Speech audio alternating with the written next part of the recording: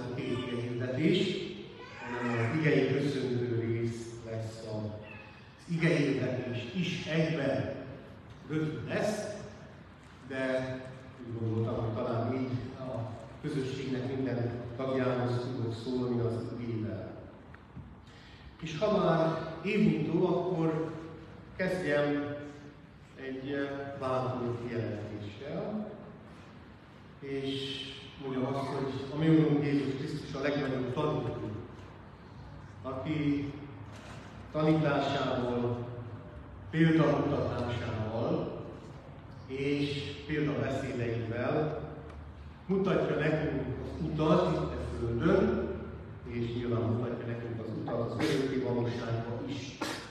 Nem véletlen, hogy az elmúlt esztendőben több példázatot is feldolgoztunk, hiszen Jézus tanításának egyik lényeges eleme az ő példázatai, és ezekből a példázatokból mindannyian tanultunk, hiszen mindannyian tanulunk, a tanulás az egy élet hosszig tartó folyamat, és tanulás nélkül elveszi az ember. Úgyhogy örülök, hogy van iskola. Örülök, hogy itt vannak ezek a gyerekek, mert meggyőződésem, hogy a legtöbb, amit szülők, nagyszülők és a gyülekezet tud adni ezeknek a gyerekeknek, az a tanítás. És ennek a tanításnak nyilván két nagyon fontos eleme van, mind a kettő egyaránt fontos. Az egyik magyar nyelv, és a magyar kultúra. Ezt a kettőt nem igazán tudom elválasztani egymástól, és az a keresztény kultúra, amelynek integrális szerves része a magyar műveltség. Szóval tulajdonképpen a kettősségben vagy hármasságban működik az iskola, és ez így van jó. Szeretnék nektek olvasni a Bibliából a példabeszédek könyvéből egy rövid tanítást a tanításra. Van ilyen is, tanítás a tanítás. Így szól. Salamonnak, Dávid fiának, Izrael királyának példabeszédei. Ismerd meg a bölcsességet és az intést. Írd meg az értelmes mondásokat. Fogadd el az okos intést, az igazságot, a törvényt és a becsületességet. Ezek adnak az együgyűeknek okosságot, az ifjaknak ismeretet és megfontolást. Hallgat rá a bölcs és gyarapítja a tudását. Az értelmes útmutatást nyer, és megírja a példázatot és a hasonlatot. A bölcsek szavait és azok találós kérdéseit. Az Úrnak félelme az ismeret kezdete, bölcsességet és intést csak a bolondok meg. Hallgass tehát, fiam, apám intésére, ne hagyd el anyád tanítását, amely ékes koszorú, ez a fejeden és kétszer Tanítás, tehát a tanításról. Három dolgot fogok röviden kiemelni, és megemlíteni ezzel kapcsolatosan. A tanítás mindenkinek felelőssége, és ahogy mondtam, három részre osztottam tanítást ma, az iskolai tanításra, mely nyilván a tanárok felelőssége, a szülők felelősségére, tehát a szülők oktatására, és az egyház felelősségére, a gyülekezet felelősségére. Az első nyilván az oktatásnál a tanárok felelőssége. El azoknak, akik valaha is tanítottak és most tanítanak a Bocska iskolában, függetlenül attól, hogy már évek óta teszik, vagy éppen most kezdik, pótolhatatlan munkát végeztek, és ilyen szempontból megfizethetetlen munkát is. Tudjátok tőlem, és tudjátok a presbitériumtól is azt, hogy, hogy nagyra értékeljük a ti munkátokat. Ha valaki tudja, hogy mit jelent bejönni egy hosszú ledolgozott után vasárnap reggel a templomba, azt én nagyon jól tudom, hogy az milyen, és én tudom, hogy ez milyen sok áldozatot, milyen sok fáradtságot igényel. Mint tanító ember, aki nyilván minden igényítés tanítás, azt is tudom, hogy nem úgy működik ez a dolog, hogy az ember odáll a katedrához, vagy odáll a mikrofon mögé, és elkezd beszélni, és véletlenül talál értelmes gondolatokat is. Erre készülni kell. És azt is tudom, hogy ez a készülés sokszor órákat, heteket, vagy éveket vesz igénybe. Úgyhogy mondanám a tanárok felelősségéről, hogy nagyon büszkék vagyunk rátok, és hiszük, hogy ti ezt felelősen csináljátok. Az elmúlt években nagyon sok csodát megtapasztaltak. Olyan csodákat, hogy azokról a gyerekekről, akikről nem gondoltam, hogy ki tudnak állni a mikrofonhoz, és szabadon, nyugodtan, magyarul, ékesen, szépen tudnak beszélni, meg tudták tenni, mert tanárok, és nyilván mindjárt beszélünk a szülőkről is, megtették azt a kötelességet, azt a kötelességet, amit meg kellett tenni. Úgyhogy köszönöm szépen, és nem is szeretnék el többet szólni, hiszen csak hálát akartam adni a magam és nyilván az egyház és a közösség nevében is nektek tanároknak. A családok felelőssége, mondanom sem kell, hogy, hogy kulcsfontosságú. Nincsen fontosabb egysége a társadalomnak, mint a család. Én elismerem és elfogadom, hogy sokaknak sajnos nem adatik meg egy boldog, vagy éppen egy kiegyensúlyozó családi életnek a lehetősége. De attól függetlenül, hogy ez a mai világban sokszor nehezen valósul meg, vagy egyáltalán, attól még a gyerekek számára a legideálisabb közösség egy jól működő. Nincs tökéletes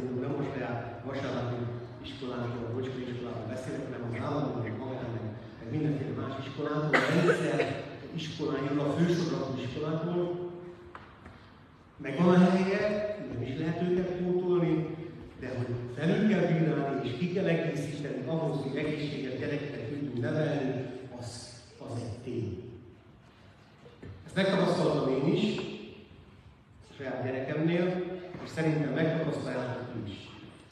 Csak hadd mondjam el nektek, mint idősebb barát, nem vagyok sokkal idősebb, mint ti, talán 15 éve. Hát éppen úgy, ha túl vagyok a gyereknevelésben, a lányom egyetemre nézett minden, ezt, ezt a részét nem tudtam az életemnek sajnos. Egyébként így vagyok, látok, mert úgy szeretném gyereket nevelni. De mint egy idősebb barát, hadd mondjam el nektek azt, hogy, hogy megint csak bibliai kötelességetek, keresztény kötelességetek felülbírálni azt, amit oktatási rendszerben fősodratú oktatásban nyomnak. Tessék merni a gyerekekkel beszélni, és néha el lehet mondani nekünk. Sokkal többet tudtok, mint a gyerekeitek.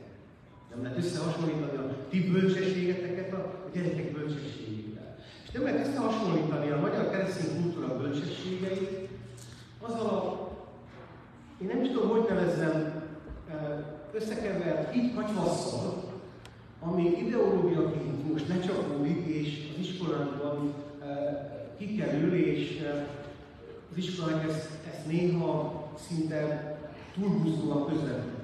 Tessék ezt felülbírálni.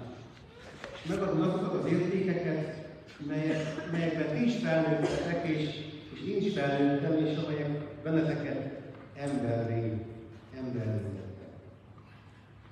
hiszem azt, hogy értitek, hogy mire gondolok, és nem is tartjátok szerintem túlzónak, meg szemtelenül azt, amit mondom. Még egyszer ezt mint egy idősebb barát mondom, aki, aki gyereket nevelt, és tudja, hogy ez hogyan van, és aki még, még itt is végzett egyetemet. És azt is látom, hogy az egyetemen mit, adnak, és ahol is van véleményem és hozzászólásom, és akkor a gyerekek egyetemisták lesznek, amikor ti már egyszerűen lesznek a dolgok kiigazításával. Higgyétek el. És akkor teszeket jól, ha ezt megteszek. A harmadik gondolat az nyilván az iskola és a templom. Nincs időm, és szerintem nem is tisztem most egy történeti fejtegetésre merülni, arról, hogy mi köze a kereszténységnek az iskolához. Éppen beszéltünk ma a Isten tisztelet előtt, gyakorlatilag szinte minden, ami körülvesz bennünket a nyugati, éppen most déli, jóléti társadalomban, a kereszténységből nő ki. Tehát az iskolák is a kereszténységből nőnek ki. Például a magyar vonatkozásban, például a reformáció idejében a népiskolák, ahol elkezdték a paraszt gyerekeket, éppen azért, hogy tudják olvasni a Bibliát, betűvetésre és olvasásra tanítani őket. De a szociális rendszer, a nyugdíj, a körülöttünk levő társadalomnak a rendje is mind-mind a kereszténységből ki, csak nem. Ezért a gyülekezetnek, a templomnak is van egy nagy felelőssége, és ebben is van nektek dolgotok, ha csak nem akarjátok, hogy gondtalanok és otthontalanok legyenek. Biztos ismeritek, sokan ismeritek az idősebbek, kétségtelen ismerik Reményi Sándor, egy kolozsvári költő volt, nagyon szép verseket írt, istenes verseket elsősorban, és ilyen lelki verseket. És van neki egy híres verse, aminek az a címe, hogy templom és iskola. Ebben a versben pont arról van szó, hogy a templomot és az iskolát nem lehet elválasztani. És amikor tavaly évvégén felmerült a kérdés, hogy nem lesz iskola, akkor pont ez volt a szívemben, hogy ez nem lehet, hogy legyen egy templom, és ne legyen mellette oktatás. Nem lehet elválasztani a templom. A templomnak és a gyülekezetnek, és ezt most magam, a presbitérium és a közösség nevében mondom, volt a felelősségünk, hogy otthon és támogatás belőle az iskolát. Ne legyen az iskola otthonban. És idézem egy picit Reményi Sándor, hogy a következő mondja, nyilván Trianon kontextusában mondja, de rá is vonatkozik. A koldusnak és a páriának, a jöttmennek is joga van Istenéhez apái módján és nyelvén fogászkodni. Csak nektek ajánlják templomunk az út szélen és az égboltságban. Ne hagyjátok a templomot, a templomot és az iskolát. Arra kérnélek titeket, szülők, hogy ennek a versnek, ennek az idézetnek a szellemében lássátok ezt a templomot. Ez egyszerre templom, az Isten temploma, és egyszerre iskola. És higgyétek el, hogy ebben az iskolában még ti is, és én is tanulhatok valamit. Függetlenül attól, hogy lehet, hogy már nem tudom, tíz éve befejezte az egyetemet, van PhD és bármi, hidd el, hogy ebben az iskolában tudsz te is, és én is tanulni. Ez viszont nyilván időt kell szakítani, és a köszönet azoknak, akik az elmúlt években időt szakítottak erre, itt a kérés azoknak, akik most csatlakoznak, hogy szakítsatok mindig elegendő iskolát, elegendő időt, hogy legyen, legyen időtök eljönni a templomba, eljönni a templomba és, és az iskolába. Sokszor szoktam mondani, félig viccesen, a halálosan komolyan egyébként, hogy néha biztos, hogy nagyon rossz a prédikáció, rettenetesen unalmas is lehet, ezt én nem vitatom el. De ha csak annyit hallasz meg az Isten tiszteleten, hogy felolvastam a Bibliából egy amiben az Isten szent egy bölcsessége ott van, és a többit azt mondod, hogy mind való, már még már sokkal jobban jártál, mint hogy elmentél a helyi kávézóba, és itt állunk a 7 dollár utánére egy kafélátét. Megkapok 2 dollárért most Hidd el, hidd el, sokkal többet tanulsz.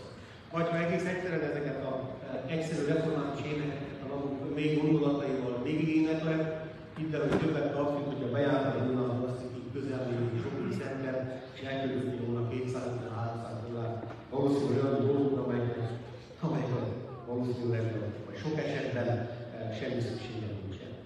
Szóval ne hagyjátok a templomot, a templomot és az iskolát. Mi is, akik a templom mögött vagyunk, és a templom vagyunk, és a gyülekezet vagyunk, így nézzük ezt, és arra kérünk titeket, hogy ti is így nézzétek ezt. Azt is tudom, és higgyétek el, hogy tudom, hogy, hogy, hogy nincs idő. Ezt értem. Sokszor szoktam elmondani Herman Buchnak a híres jó drámainak, írónak, regényírónak a, a példáját. Ő írt egy nagyon szép könyvet, Herman Buch, biztos, hogy ismerjük a nevét. Itt egy nagyon szép könyvet, az a címe, hogy Én Isten. Herman Buch ebben a könyvben, és ez az utolsó gondolatát zárul, nem lesz hosszú, ne féljetek tőle, arról beszél, hogy ő a Broadway-en rendszeresen rendezett általa megírt darabokat, és, és amikor a bemutatóra készültek, és jött a sabbát, a szombat ideje, ugye a zsidók számára a pihenés napja, a szombat nekünk számára a keresztények a vasárnap. Szóval amikor eljött az ideje, akkor, akkor mindig megtapasztalta, hogy milyen, milyen jó dolog az, hogy ő ki tud ebből. És röviden felolvasok, mert egyszerűen a szenzációsan ír elmúl, felolvasok egy belőle, hogy ráérezzetek, hogy miről. Így szól a félekéket. A szombat akkor szokott leginkább beleszólni az életembe, amikor egy-egy darabon bemutatóra készül. A Broadway-en ugyanis legendásan feszülünk a próbák végére. Ilyen feszültséget a háború alatt sem éreztem, a tengeri csaták idején sem. A nyomás pénteken tetőződik. Elkerülhetetlenül ilyen úgy érezni, hogy az egész produkció meg Időnként árulónak érzem magam, hogy ebben a helyzetben még szomorú tartok. De a tapasztalat megtanított, hogy a színházi produkcióknak többére ez a természet. Úgyhogy én pénteken délutánonként nagy nehezen elbúcsúzom a munkatársaimtól, és szombaton este térek vissza. És állítom, a darab sohasem ment tönkre engem. És szombaton este a szokásos tápolás és járulás szokott fogadni. Én viszont már pénteken elmegyek. Ott hagytam a ragacsos kávészcsészét, a szamárkozás szövegkönyvet, az elkúzó színészeket, az üvöltő ügyelőt, a megszálló rendezőt, a körmétlábú producert, a csapkodó írógépet, a tömény, dohányfüstöt is hazaérek. És olyan érzést fog el, mintha háborúban eltávozást adtam volna. Feleségem és fiaim, akiknek létezéséről szinte megfelelkeztem, jókedvűen ünneplőben öltözve Csodálatos vacsorához ülünk, világvisszes asztalon a szombati jelképek, az égügyet, a holopszikó, a töltött hal, nagyapám ezüst boros poharat, megállunk a fiainkat a frissjárással, és együtt énekeljük a szombati. Nagyjából itt pedig minden szombat. Olvasok, sétálok, beszélgetek a gyerekeimmel, beszélgetek a feleségemmel. És aztán visszatérek a Broadway-re. És a Broadway-en ugyanazt találom, amit ott hagytam, és ott folytatom szombat számomra a nyugalom oázis. Ezt csak azért olvastam fel nektek, mert ez a zsidó szerző, akkor nem mondhatjátok, hogy elfogult vagyok, és a keresztény elfogultság beszél velünk. Higgyétek el, hogy ha van valami, ami, ami hiányzik eh, ebből a társadalomból, ez, ez pont ez. Az egy nap, amikor megállok,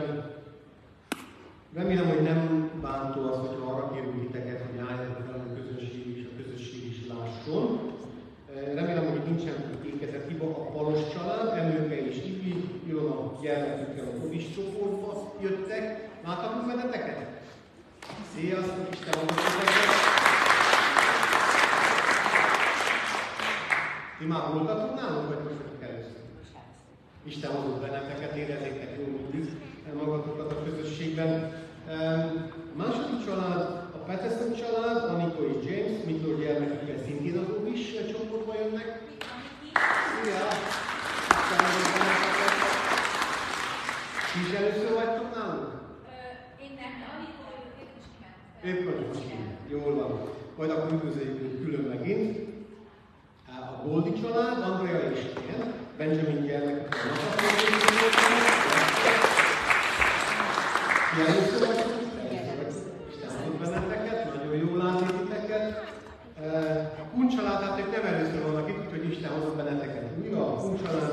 hanem még a lelki jelenségek is vagyunk gyerekek. Jó, tudom. Jó. Egy másik. Láttam. Jó, jó, jó. Még nem láttalak, azért Hello. Hello. És most következik az új tanári kar bemutatása. Én szerintem Márti tényleg a technológia lenne jó.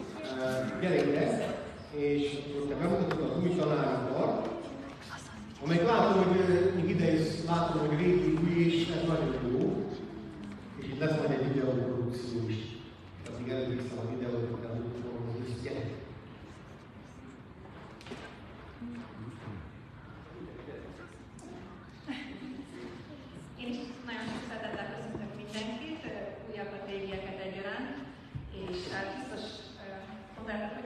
is keresek itt, csak akartam mondani, hogy hát én továbbra is a hittanulát fogom vinni majd, eh, ahogy eddig is a gyerekeknek a templomban, eh, azonban most egy kicsit kisegítek, amikor a mindig várnak egy tanárnőnek, hogy megérkezzen, hogy az egyik csoportot eh, áprilisig most én viszem, de aztán majd jön, jön egy másik tanár, és ő fogja vinni. De ne szaladjunk előre, csak akkor, hogy megismerjétek az újak is a tanárnőjénket,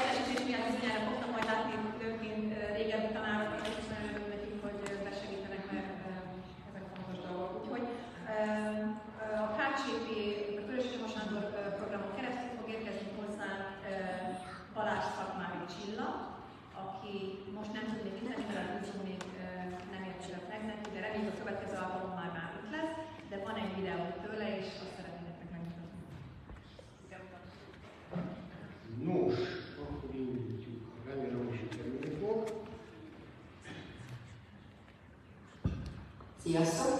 Én Szakanális Csilla vagyok, és ha a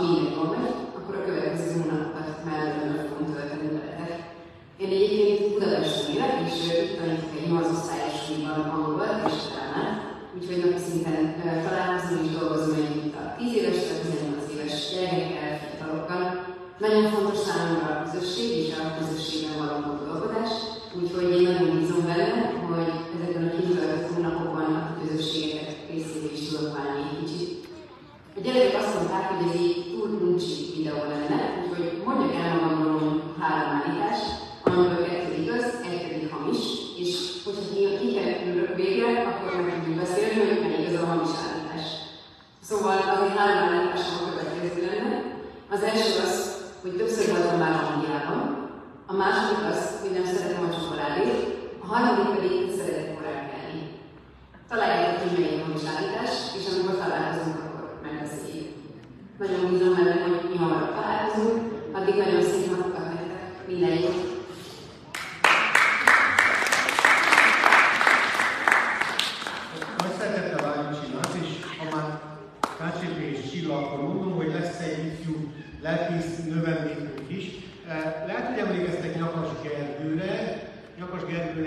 Nietzsche eh, teológus eh, Sáros patakon, és ő lesz itt eh, ebben az esztendőben, részben Melbourne, részben Sydneyben és talán a többi gyülekezetekben is, tehát nem lesz teljes időben a mi, mi ösztöndíjasunk, de változatlanul valószínűleg itt tört velünk, tehát lesz, lesz segítség, és ahogy Márti mondta, az külön köszönet Júliusnak, de minden olyan tanárnak, aki időnként besegít és visszajön és helyettesít, hiszen erre nagy szükség van. Már továbbra pedig a hirdetés. Na hát, e, akkor már csak egy, egy rész van a hirdetés, mégpedig az az, hogy ezután visszamegyünk a, a bocskaiba, és a szülőknek szülőértekezlet lesz, e, lent a bocskai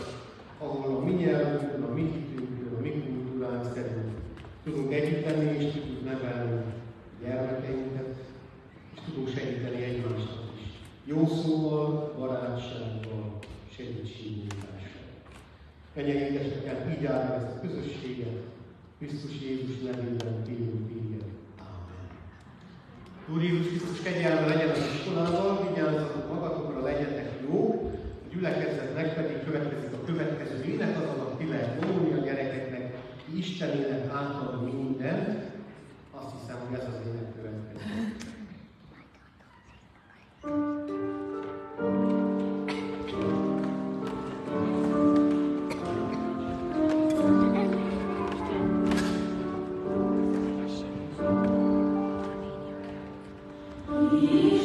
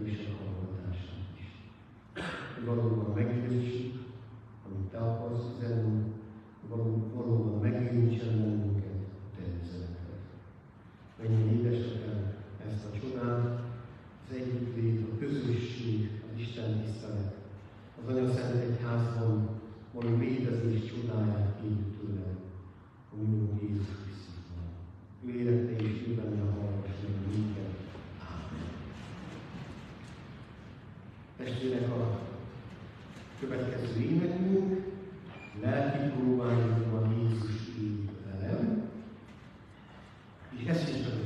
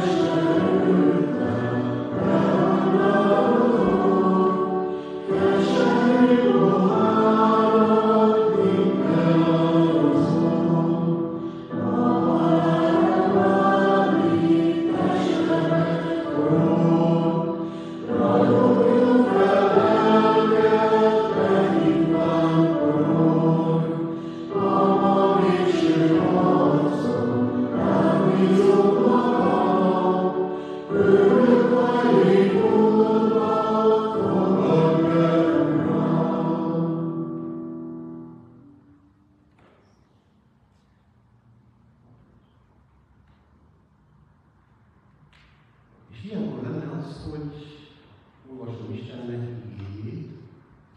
De mondta, hogy nem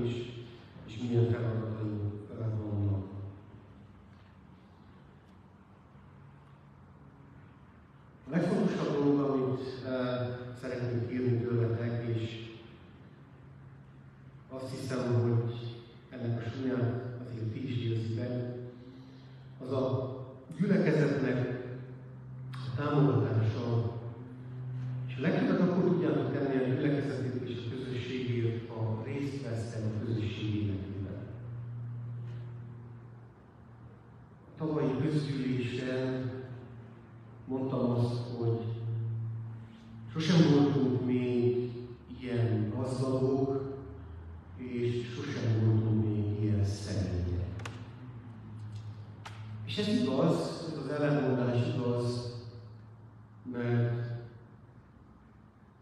nem elsősorban anyagilag basszuk Volt olyan időszak is. Emlékszem, amikor az adóságok a fejé fölött voltak, és roppantották vissza a gyülekezetet.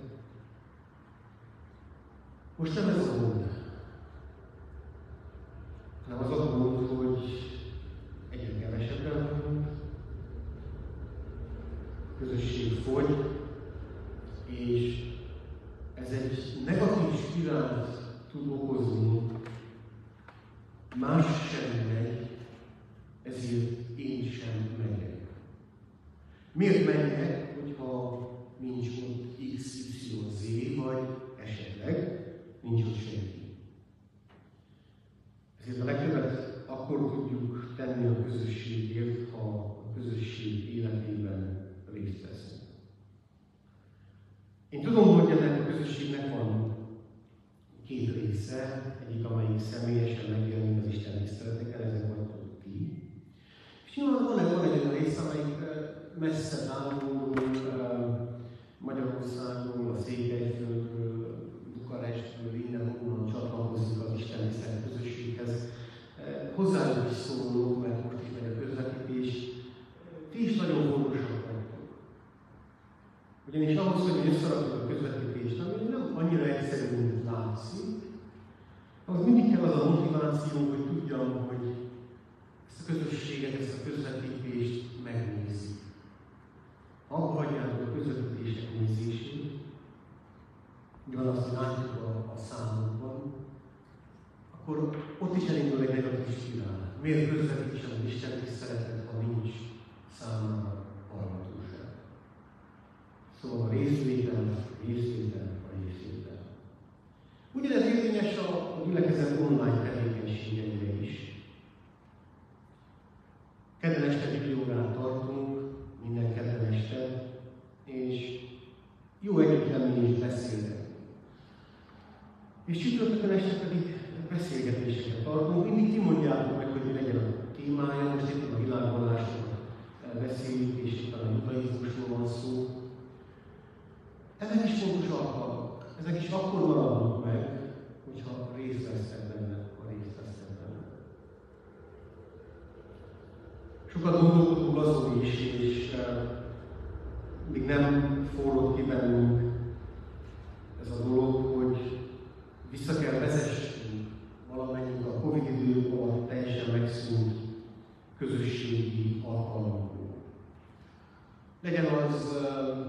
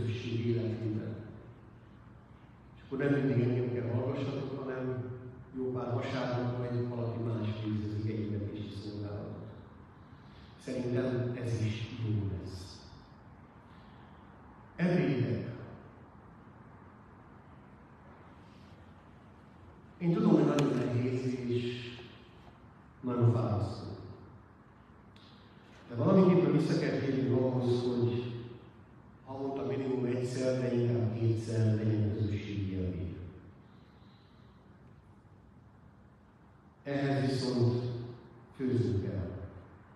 Amikor itt lesz a fiatal teológus, akkor én majd főzök. Jó? Nincs probléma.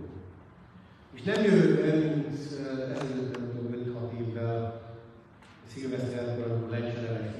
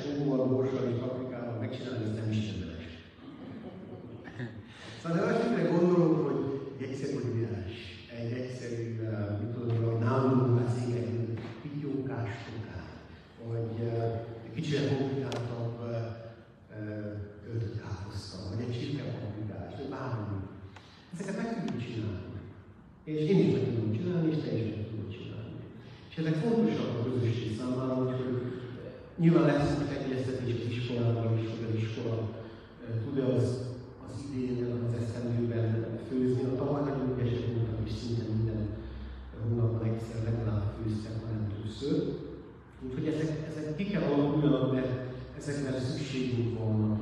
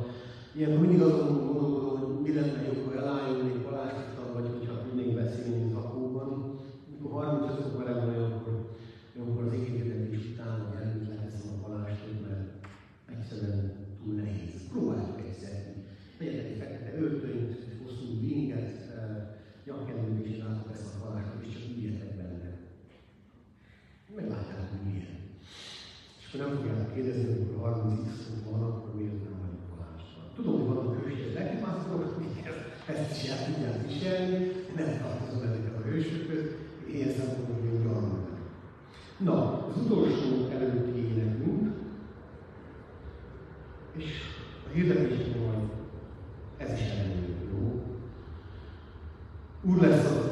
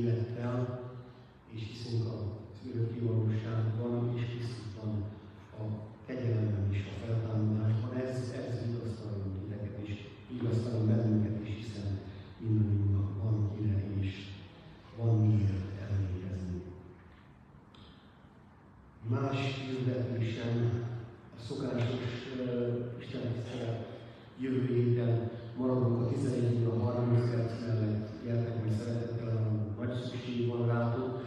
Azok is jöhetnek, akik az igénykedést otthonról nézik, és, uh, és